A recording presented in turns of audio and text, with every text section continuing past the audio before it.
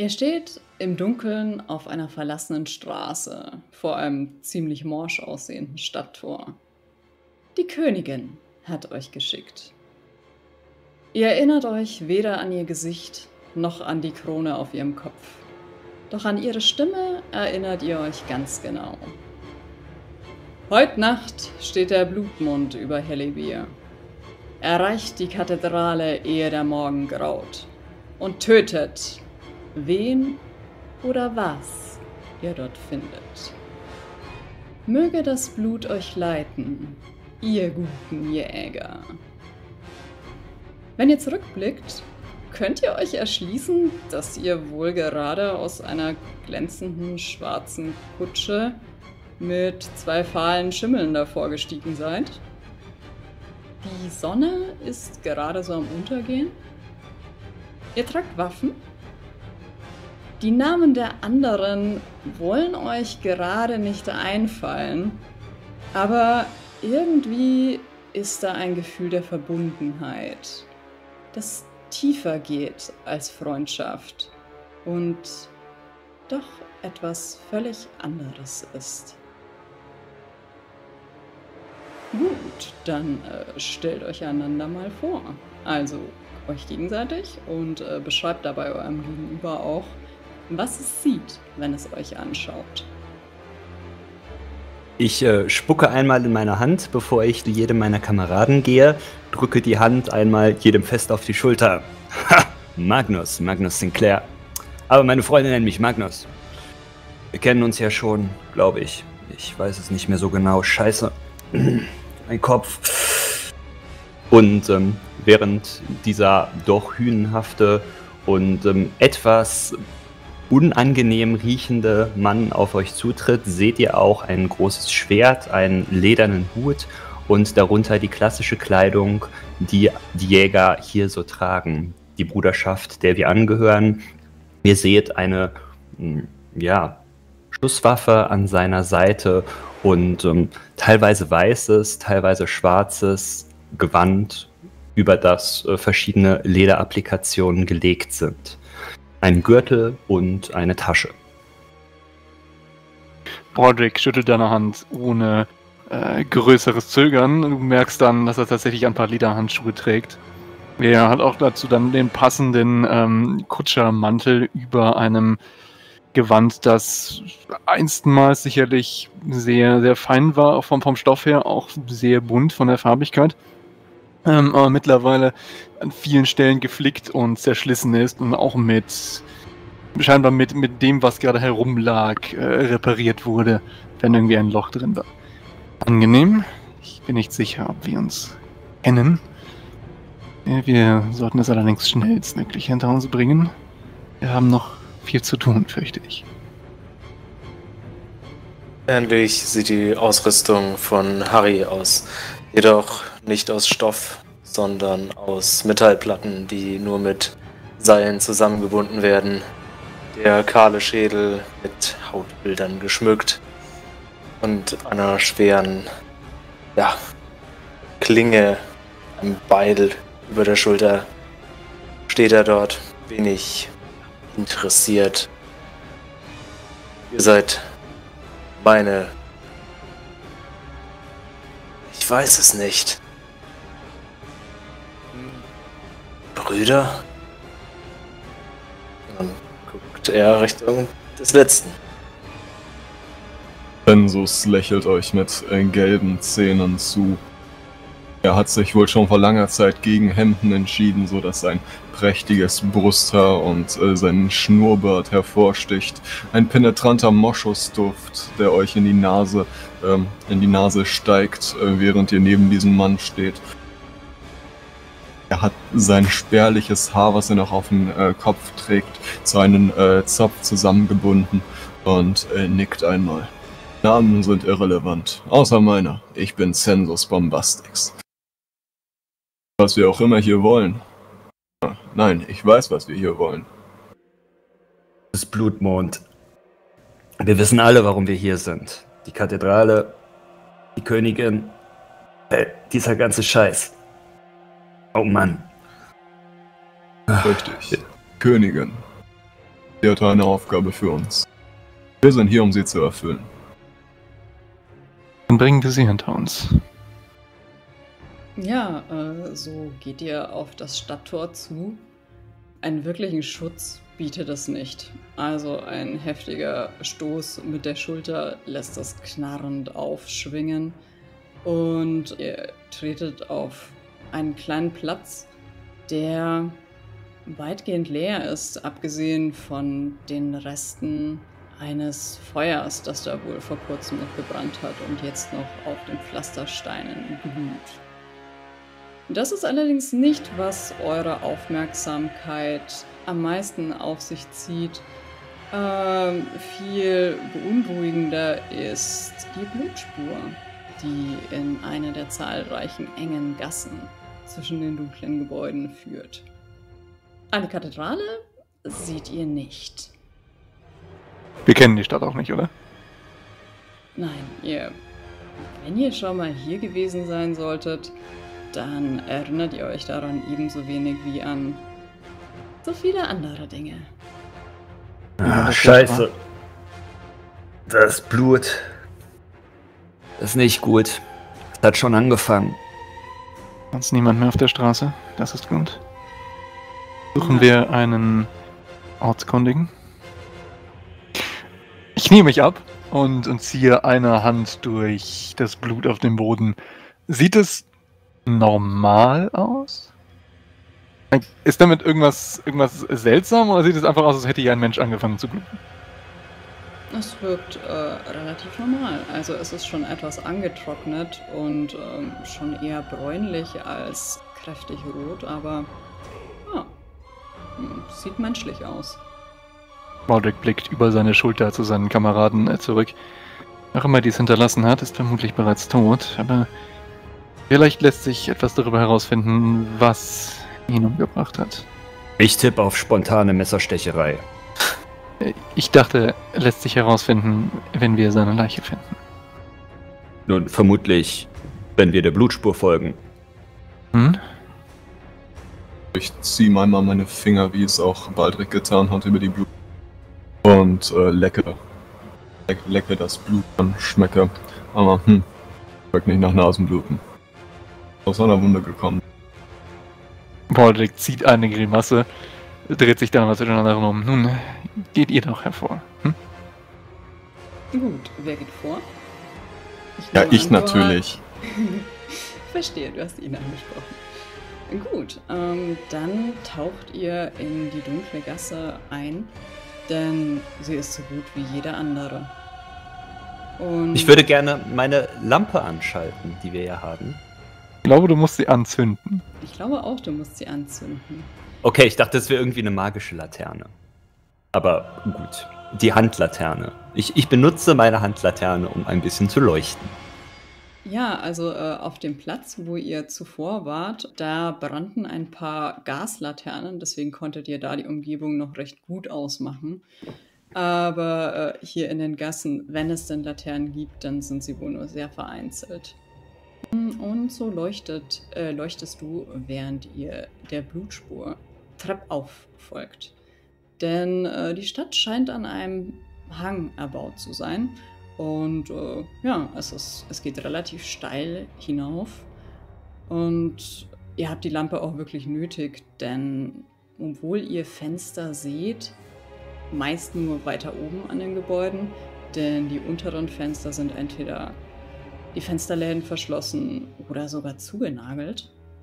Mm, Aber ihr seht erstmal nirgendwo Licht. Wenn ich raten müsste, würde ich schätzen, die Kathedrale werden wir am Gipfel dieses Berges, nennen wir es mal, finden. Der höchsten Stelle der Stadt vermutlich. Das klingt sinnvoll. Hm, Die Leute scheinen auch sehr einladend zu sein. noch haben wir Zeit. Finden wir erst einmal heraus, mit was wir es zu tun haben. Ja, ähm, gesagt, getan. Ihr folgt der Blutspur. Sie ist nicht überall gleich stark, aber ähm, auf jeden Fall an der scharfen Kante der steinernen Stufen findet ihr meistens noch ein paar Blutreste. Und ja, die Menge an Blut, die hier vergossen wurde, bestätigt eure Annahme, dass diese Person wahrscheinlich nicht mehr am Leben ist.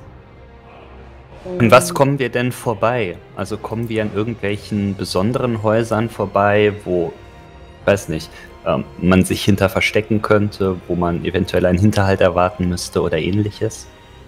Die Häuser sind alle sehr hoch und schmal, Mhm. mit spitzen Giebeln und kleinen Verzierungen, kleinen Türmchen. Ähm, aber es zeigt äh, erstmal keine Gasse ab, bis ihr äh, an eine Stelle kommt, die wohl das Ziel eurer Suche ist. Und zwar an ein eisernes Tor, das wohl an einen Hinterhof führt. Und das oben so Spitzen hat, ähm, ja, wie man das wohl in Städten wie Hellevier hat, um Einbrecher fernzuhalten. Und auf diesen Spitzen ist ein Mensch aufgespießt. Ihr könntet euch nähern, aber jemand ist schon da. Zwei große, struppig aussehende Hunde recken die Hälse und versuchen wohl an der Leiche zu fressen. Und die Blutspur endet unter dem. Ja, also es ist recht eindeutig die Spur, die ihr verfolgt habt. Räudige Köter. Als du das Hätten wir. sagst, hebt ein Hund den Kopf und starrt dich an, fletscht die Zähne. Ich, äh, ziehe mein Schwert. Ihr solltet einen ich- hungrigen Hund nicht unterschätzen. Ihr solltet mich nicht unterschätzen. Das Ding besteht auch nur aus Gedärmen. Schneidet es in der Mitte auf. Du kommst Dann nicht war dazu auszusprechen, denn du siehst ein Blitzen in den Augen des Hundes und der deinen Blick hart erwidert und auf dich zuspringt. Ja, Hm, alles klar. Gefolgt von dem zweiten. Gut, äh, dann schauen wir doch mal, wie wir mit der Kampfmechanik von dem Ganzen zurechtkommen. Also, ähm, du hast gesprochen, du hast die Aufmerksamkeit gezogen, das heißt, ähm, der erste Hund möchte gerne dich anspringen. Das ist vollkommen in Ordnung. Was möchtest du tun? Äh, ich würde ihm gerne zuvor mit dem Schwert eins mitgeben. Also ich würde ihn gerne, bevor, also sobald er in meine Reichweite kommt, äh, ihn abstechen. Gut, ähm, du möchtest ihn mit äh, dem Schwert erwischen. Genau. Dann musst du jetzt noch sagen, mit welcher Aktion du das machst. Also in welchem Action-Rating. Ach so, äh, ich mache das, ich würde sagen, mit der ganz normalen Aktion. Also ich gebe ein Stamina aus in der Baseform und ähm, ja. Und du hattest das Blade? genau, ich hatte das Blade. Okay, ähm, das ist nämlich relevant, denn Das äh, sind genau, es sind keine Untoten, nehme ich an. Doch, es sind Untote, wie du nämlich feststellen wirst, wenn das Vieh näher kommt. Aber dazu kommen wir gleich. Denn äh, wenn du gesagt hast, was du tun möchtest, ähm, dann ist es mein Job, deine Position und äh, das Effektlevel. Warte, erst muss er noch sagen, mit welchem, äh, mit welchem Action-Rating, also mit welchem Skill er das macht. Mhm. Ähm, naja, mit Prowess. Also, das ist, ist Ja, es ist klar, aber du Kämpfen. musst es trotzdem vorher sagen. Denn es kann ja Ja. was anderes sein. Ja, gut, also mit Prowess. Okay, gut. Ähm, ich würde sagen, äh, eure Situation war von Anfang an riskant, denn, naja, ihr seid in einer gruseligen Stadt unterwegs und äh, versucht herauszufinden, wo die Blutspur hinführt. Klingt für mich riskant. Ähm, das ist äh, die mittlere von den drei Stufen, also äh, kontrolliert wäre der harmloseste Fall und verzweifelt wäre der schlimmste Fall. Vielleicht sollte Ja. man das nochmal erklären, noch für die, für die Zuschauer an den Geräten zu Hause. Wie Position und Effekt funktionieren. Ja, also äh, von der Position hängt ab, wie schlimm die Konsequenzen sind, äh, die schlimmstenfalls eintreten. Ja, also wenn die Position kontrolliert war, dann wird erstmal nichts allzu Schreckliches passieren. Aber bei einer riskanten Position äh, können da schon üblere Folgen eintreten. Und ähm, naja, das andere ist eben das Effektlevel. Mm, Also ich bestimme ausgehend davon, was die Helden erreichen wollen, wie aussichtsreich das ist, also ob es einen, äh, einen normalen Effekt, einen äh, erhöhten Effekt oder einen begrenzten, also einen geringeren Effekt haben Mhm. wird. Und die äh, Hunter können ähm, hier immer noch einwirken. Und zwar können sie äh, Effekt gegen Position traden. Schau, Ja. Ähm, das heißt, wenn du einen äh, höher erhöhten Effekt haben möchtest, ähm, Ja. kannst du dich äh, in eine verzweifelte Position begeben und wirklich schlimme Folgen in Kauf nehmen, um eben den Effekt nochmal zu erhöhen. Auch Aber- andersrum? Ja, auch andersrum. Also es, muss Okay, das- natürlich, es muss natürlich Sinn machen. genau. Ja, das, das Ding ist nämlich, ich kriege ja plus zwei Effekte. Einmal durch meinen Effekt gegen Untote und einmal durch meine Violent Past. Also, Ja, genau. Also ich hätte dir erstmal einen, äh, einen limitierten Effekt gegeben, denn, naja, es ist ein untoter Hund. Ich glaube, das ist schon äh, ein Grund für limitierten Effekt. Mhm. Aber du hast durch die Waffe eben höheren Effekt äh, gegen Untote. Damit kommst du auf Standardeffekt. Und ähm, ja, mit der Violent Past kommst du sogar auf erhöhten Effekt. gut. Alles klar. Ähm, dann kommen wir jetzt zum Würfelwurf. Außer Census Bombastix müß- möchte davor was machen, denn der agiert ja immer zuerst. Groß? Äh, ja, stimmt. Ich agiere immer zuerst. Äh, Frage. Ich, äh, kann ich einen Assist äh, durchbringen und Ja, wie, du, Bei- musst, du musst sagen, wie du ihm assistest und dann schaust du erst, ob du darauf würfeln musst. Genau, also was ihr alle seht, ist, die zwei Hunde springen auf euch zu und eben zuerst auf Magnus. Und äh, ja, was würdest du denn tun, um ihm gegen die Hunde beizustehen? Äh, ich möchte meinen äh, Speer ausklappen und der stumpfen Seite dem äh, Hund auf den Rücken schlagen, mitten im äh, so dass er, äh, dass unser guter Magnus äh, die äh, Möglichkeit hat, so, so dass er aus der Balance gerät, der Hund, und äh, im Grunde direkt in das Schwert von äh, Magnus hineinfällt. Klingt tatsächlich wie ein Assist, oder? Ja. also äh, du schubst ihn gewissermaßen und ähm, dadurch kann Magnus ihn besser erwischen. Ähm, Dafür gibst du, Roll. dafür gibst genau, du zwei gibst- Stamina aus. Genau, du gibst dafür zwei Stamina aus und Terra kriegt einen zusätzlichen Würfel. Genau, dann würfel ich mit vier Würfeln, wenn ich das richtig sehe, weil ich ja drei Prowess habe. Dann gib ihm. Eins, zwei, drei, vier. Und roll. Ja, wer Foundry noch nie benutzt hat, ihr habt unter dem Chatfenster eine kleine Würfelbox, da könnt ihr die passenden Würfel einfach anklicken, so oft wie ihr sie braucht. Also die sechs ist mit drin. Moment, wo sehen wir die einzelnen? Ah, ich sehe die einzelnen Ergebnisse. Man, man klickt drauf und dann klappt es auf und du kannst Genau. die einzelnen Würfel sehen. Okay, jetzt, jetzt. Auch. Success. It goes as well as intended. So, was hast du noch gleich vor? Ja, ihn komplett aufschneiden. Gut, ähm, der erste Hund springt dich an und äh, du möchtest ihn aufspießen und deine Klinge dringt durch den Brustkorb, also an der Unterseite. Und naja, bei dieser Gelegenheit stellst du dann fest, dass da unten nicht mehr so furchtbar viel ist. Also was du aufschlitzen könntest, äh, da der Hund eben untot ist. Aber deine Klinge gibt dir einen Vorteil gegen Untote. Hm, Wie denkst du, äußert sich das? Also du hast sie jetzt quasi zwischen seinen Rippen. Ich äh, würde einfach mal sagen, meine Klinge ist aus irgendeinem Metall gefertigt. Silber, natürlich. Wollte ich gerade sagen. Wir kennen ja alle aus dem äh, guten Witcher. Und ähm, entsprechend äh, schneidet das Ganze natürlich wie ein heißes Messer durch Butter. Also so könnte ich mir das zumindest vorstellen. Also ich teile ihn wirklich in zwei Teile. Denn selbst wenn der Hund jetzt immer noch lebt, ist, ist er ist ein Vierbeiner, er kann in zwei Hälften nicht mehr wirklich irgendwas tun. Ich weiß, also ähm, sagen wir so, die Klinge dringt durch den Brustkorb und ähm, naja, ich denke, es ist irgendwie ein übernatürlicher Effekt. Es gibt ein äh, leichtes, bläuliches Glühen um die Klinge.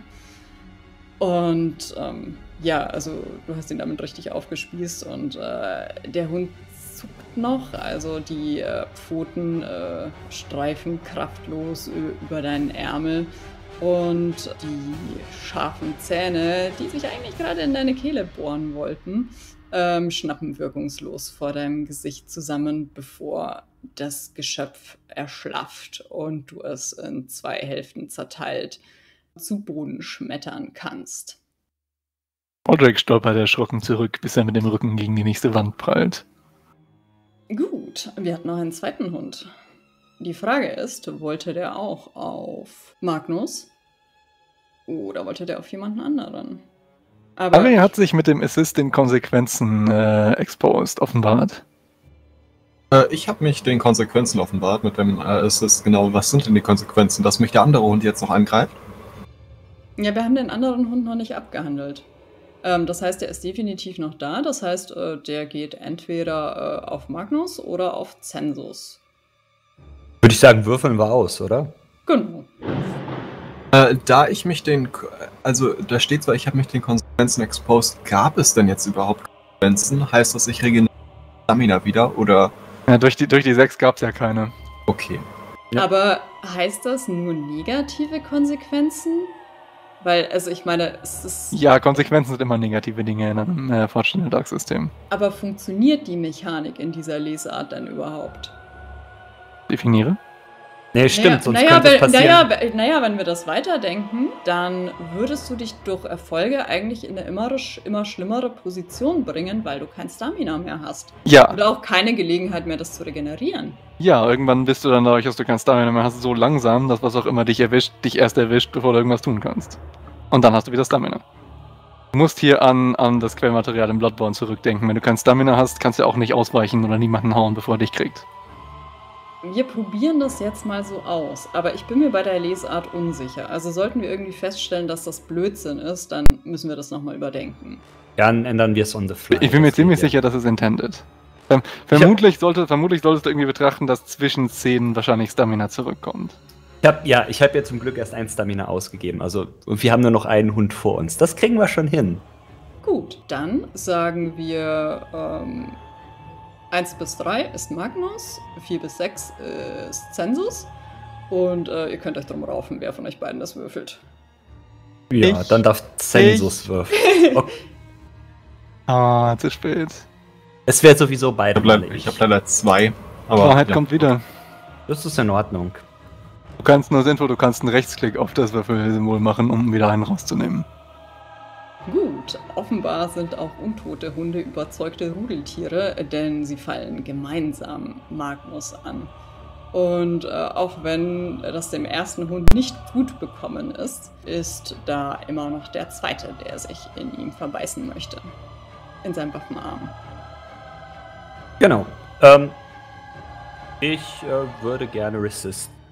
Und äh, sinnvollerweise gebe ich natürlich zwei Stamina aus, um ähm, ein D6 zu würfeln. Ähm, ich weiß nicht, triggert hier auch meine Violent Past, dass der Effekt höher ist? Wahrscheinlich nicht, oder? Weil ich ja keinen Schaden mache. Es gibt Nein, keinen ich Effekt bei einem Widerstandswurf. Okay, gut. Das wollte ich nur einmal geklärt haben. Dann 2D. Nichtsdestotrotz zwei Würfel. Die 4. Die Close. vier. Gut, dann schauen wir kurz, was da steht. Ähm, du reduzierst den Effekt teilweise. Okay, mm, dann machen wir es so. Und zwar, du darfst es dir aussuchen. Und zwar entweder es gelingt dem Hund, sich zu verbeißen. Und naja, er hängt dann halt an deinem Waffenarm für deine Nahkampfwaffe auf jeden Fall nicht zu erreichen und er wird Mhm. vielleicht auch nicht mehr loslassen. Alternativ rutscht er ab, aber macht dir im Abrutschen noch Schaden. Okay, ein, dann ein Blatt. Ja, ist in Ordnung. Ähm, er darf sich natürlich verbeißen, weil ich ja auch Gefährten habe, die gerne den Hund ähm, behandeln dürfen. Immerhin bin ich jetzt wieder frei von, Sta- äh, habe ich jetzt wieder alles Stamina ähm, und krieg das schon hin. Äh, er darf sich gerne in mir verbeißen. Gut. Ich, vertra alles ich klar. vertraue meinen, meinen Kameraden hier, das jetzt äh, heimzubringen. Sag mal, Gut. Machen die Geräusche lang, bellen die oder sind die, weil sie untot sind, komplett stumm? Ähm, sie sind nicht stumm, sondern äh, ihr hört so eine Art Röcheln. Also es ist ein bisschen so wie die Geräusche, die plattnasige Hunde machen, die ganz schlecht Luft bekommen, nur dass es bei diesen Exemplaren irgendwo aus der Kehle kommt. Also die beiden Exemplare, die euch angefallen haben, äh, sind vollkommen stumm gewesen dabei.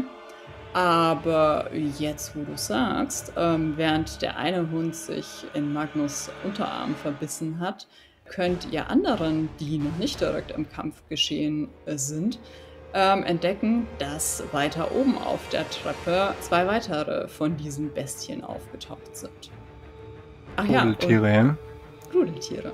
Und äh, noch ein bisschen mehr Beschreibung dazu. Einer von denen gibt tatsächlich auch laut. Also es äh, klingt nur so halb wie ein Bellen, aber äh, er macht sich auf jeden Fall bemerkbar. Also hält einmal kurz auf dem Treppenabsatz inne, erfasst die Situation und wirft sich dann mit seinem Gefährten mit ins Getümmel. Die Viecher sind wirklich groß. Also denkt an einen irischen Wolfshund, äh, das ist ein richtiges Kalb. Sie sind dabei aber sehr, sehr dünn. Also selbst als sie noch nicht untot waren, sahen sie vermutlich nicht sehr gesund aus. Und äh, naja, über ihren Rücken ziehen sich noch Reste von grauem, struppigen Fell. Und ja, also von ihren Eingeweiden ist nicht mehr viel übrig. Auch an der Kehle hängen Hautlappen herunter. Und ja, sie sprinten auf euch zu. Die von oben jetzt auch schon? Ja, aber die sind nur ein Stückchen weg. Kann ich, wenn die jetzt die Treppe runtersprinten, kann ich irgendwie auf den vorderen schießen, damit der, damit der hinfällt und sich beide ineinander verknäueln? Ich denke, es wäre ein Stunt, Also denk- oder? Also ich- wenn du ja, möchtest, also auf jeden Fall, über denke- Pfoten fällt. Right, auf jeden Fall, ich denke, Bordik hatte halt, er ist zurückgestolpert, irgendwie gegen die Wand geprallt, hat dann etwas erschrocken nach links und rechts geschaut, ähm, ob sonst noch irgendwo Viecher sind, und man merkt jetzt die beiden, die da oben an der Treppe stehen, und äh, hat jetzt endlich genug Geistesgegenwart gesammelt, während ja der andere gerade noch, äh, vermutlich mittlerweile eher geräuschvoll an, nicht Harry, sondern Magnus. Mag Magnus äh, Ärmel baumelt und zieht jetzt die Pistole, legt auf ihn an und hoffentlich trifft er ihn. Ähm, ist das Bit? Awareness Reflexes Smarts? Ich wusste, dass es Ich einen Grund gegeben hat, warum du drei Witz genommen hast, Ähm, aber nee, tatsächlich habe ich erst drei Witz genommen und versuche jetzt zu schauen, was würde jemand mit drei Witz tun. Also ich, also ich ich, will das finde, Argument, es ich hat will das Argument Fall, akzeptieren, dass es Prowess sein könnte, weil es ist ja irgendwie Fighting, aber ich will ihn ja nicht wirklich bekämpfen, sondern Ich denke, dass, äh, naja, den Hund überhaupt zu bemerken und so durchaus was mit Reflexen zu tun hat. Mhm. Also es ist nicht Resolve und ich entscheide mich jetzt dafür, dass es Bit ist. 1, 2, 3. Und ähm, muss ich dafür eine Kugel ausgeben? Das ist irgendwie ein Parry, oder? Ich interrupte seine ein Action, seine. Action ist... Es ist dann. Hatten wir doch eben festgelegt. Uh, dann äh, gebe ich vielleicht lieber drei Kugeln aus. Drei? Jetzt, Ach sind so. wir, jetzt sind wir aber wieder bei der Ach so. Frage, würfeln wir das überhaupt auf Wit oder hängt es ausschließlich von den Kugeln ab? Denn Oh, das... hier achso, finde ich nicht, stimmt. dass das so eindeutig ist, oder? Ja, ich glaube, das hängt nur von den Kugeln ab. Jetzt, wo ihr sagt, ja, ich denke auch, dass es nur ein Stun ist. Aber im Nachladen bist du ja gut, also kannst du auch Kugeln. Ja, Ausgeben. ich gebe, ich gebe drei Kugeln aus. Okay, dann 3d6 bitte. Nee. Doch, da ist die 6. Ja. Also ist tatsächlich auf dem dritten Würfel. Also, ähm, Boldig zieht zwei Pistolen gleichzeitig und feuert äh, auch im Grunde beide gleichzeitig ab. Äh, und dann hat er die dritte schon in der Hand, merkt, dass die immer noch am Laufen sind und nimmt sich dann einen Moment lang mehr zum Zielen und äh, trifft dann auch den, den Vorderlaufenden irgendwie im. Haben wir Hunde Kniescheiben? Ja. Jedenfalls, er trifft ihn irgendwo im Bewegungsapparat und die verknäulen sich beide hintereinander und stürzen erstmal die Treppe hinunter. Das war die Hälfte meiner Munition.